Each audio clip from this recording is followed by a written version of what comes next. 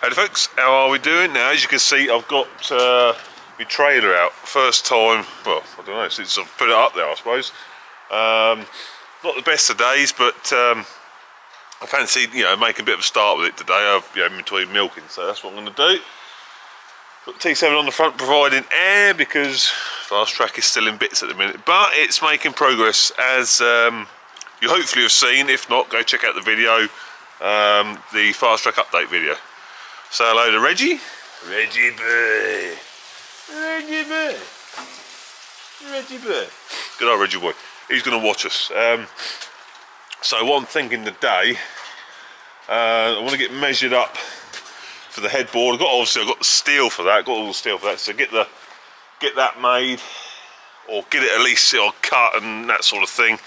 Um, my end of the day, sort of see if I can get the cutting done. Cause I've only got a few hours to do it. Lot um, cut this um, caravan towing hitch on the back lot. So cut all that off cut that off just so I've got literally that bumper there. And do away with all that um, crap there lot because I don't plan on towing anything behind this fairly obviously. So it's cut that off and um, like I say get the steel cut uh, for the headboard for this. Then once that's done um, I can then cut that off and then because that's going to I'm doing away with all that crap. That's going to then come off um, the Susie carrier off the front of the headboard. Probably to a very similar position but it's going to come off the front of the headboard rather than all that sort of malarkey. So uh, anyway let's get cracking. Right so I've been going through some headboard designs and what I was thinking initially was I was going to be quite you know fancy with it but I was going to come up I'm going to have a two foot headboard basically that's as high as I want to go, solid. Um, so I was going to come up, say, a foot and a half, and then have a 45 going in, just so it cranks it in a bit. Then you've got the top bit of three inch goes along the top, and then the same the other side. But I thought that's not entirely practical. So what I thought I'm going to do, actually, well, what I am going to do, I'm going to cut the bits uh, three inch. It's all going to be made out of this three inch. Going to cut that at two foot and I'm going to leave the holes exposed top wise because then if I want I can then at a later date put a, you know, a rave on the front. Because uh, I've got the socket there you see so that's you know, a lot more sense. So that's what I'm going to do. So we're going to go two foot high a post either side leave the holes exposed just put a drain hole in the bottom so you know water come out. Well I suppose I could get the plastic caps couldn't I? Um, but then yeah then I'm just going to have a cross member in between. And then I've got the uh, steel checker, that's going to be the infill because I do like a solid one. So that'll be the infill. And then, like I say, if I've got the socket holes pointing up, it's just a case of building a, a little frame to slot in if I want to, uh, if I want a rave on the front. So that's what we're going to do. And it does make it a lot easier as well to build and cut. So um, I've got a lot of 45 degree cuts. So I've measured the first one, let's get cutting.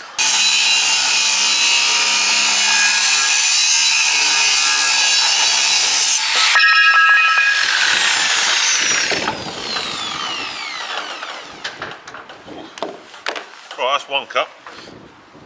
I have got a bandsaw, but considering this is three metres long, I thought it's just as easy just to get the big grinder out and uh, cut it with that, rather than try and lug it round. And I can cut pretty straight with a grinder, can you see? That is pretty damn straight. It's all about measuring, isn't it, look? Right, one down, one to go. So I've got all the three inch box cut got this bit squared up ready to just uh, tack it together.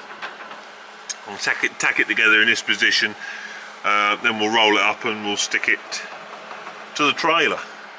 Right so we've got the frame all tacked on now. Next job is offer up the um, checker plate get that clamped on here and um, then get that tacked on as well. And then once that's all done make sure it's all good and seam it all up. We're getting somewhere Right, we're getting somewhere now. Frame is all welded in properly. Um, done probably about two hours of cleaning. It's one of the most laborious jobs, but you've got to do it. If you want a decent weld, you've got to clean it well, So I was, yeah, literally cleaned all that, cleaned the, um, a bit of checker up, so that's all clamped, well, sort of clamped in, ready to make the way across because it's a bit floppy. Um, when they cut it, you know, it's got a bit hot, so it got a bit of a bow on it. But uh, what to do, start here and then just work my way along um, inside and out.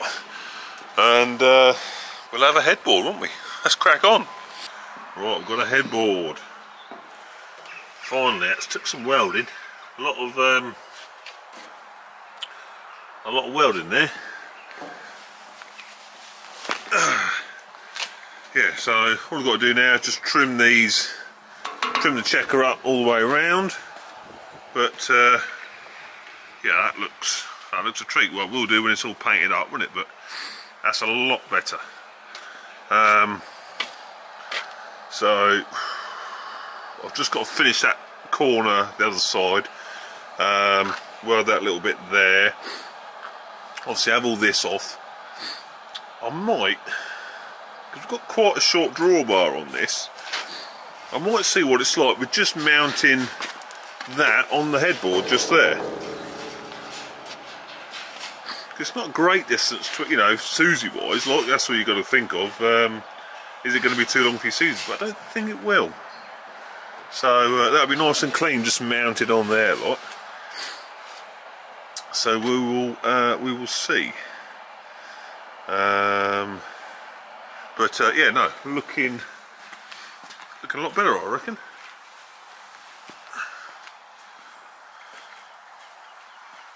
Yeah, it looks alright, doesn't it? So anyway, it's what's it about half six now, I think, something like that. Time is it? Bear in mind, I've been out all day. 20 past six. Got to go. I've got to pack everything, pack the welder up and everything. Get rid of the trailer again, park the tractor up, park the loader up.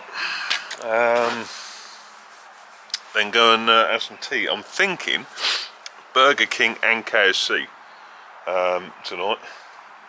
You can't have just one burger, can you? It's normally Burger King is normally a um, uh, large double whopper meal and then KFC tends to be uh, a fillet tower burger, a mini fillet, and then um, either a small uh, boneless box or a small um, leg box, you know what I mean, with the bones in lot.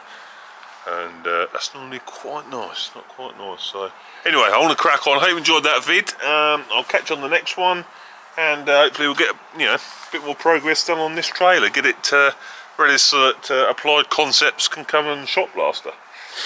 So she will look a treat. Ta-ta!